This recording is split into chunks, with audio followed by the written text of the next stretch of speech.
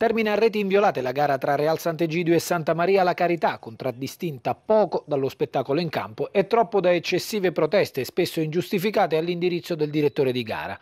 A mordersi le mani deve essere soprattutto la squadra di casa, che magari con un pizzico di lucidità in più e nervosismo in meno avrebbe potuto approfittare di un Santa Maria che ha avvertito l'assenza di tanti uomini importanti, Lucarelli, Aprea, Panepinto e Parlato su tutti, oltre a pagare cara in zona offensiva la giornata no di Agnello e Crisantemo. Per il Real diverse occasioni nel primo tempo, al quinto ci prova Pisapia senza successo. Pochi secondi prima del tentativo di Terracciano dai 18 metri con conseguente respinta di Zeno.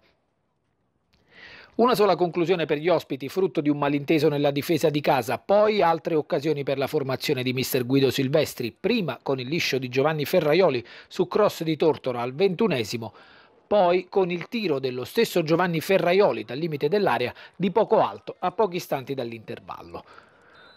Nella ripresa il vento gelido condizione negativo una partita già povera di contenuti tecnici. Al sedicesimo ci prova Agnello dal limite con palla alta prima della ciabattata di Crisantemo da ottima posizione.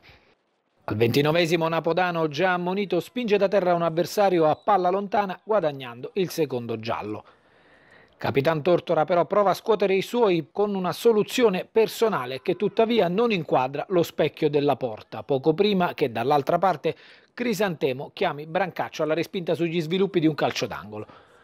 Nel finale una conclusione di Longobardi parata dallo stesso Brancaccio anticipa di qualche minuto il secondo doppio giallo di giornata, rifilato a Daniello Ferraioli ammonito erroneamente poco prima quando l'arbitro avrebbe invece dovuto combinare la seconda ammonizione a Francesco Silvestri.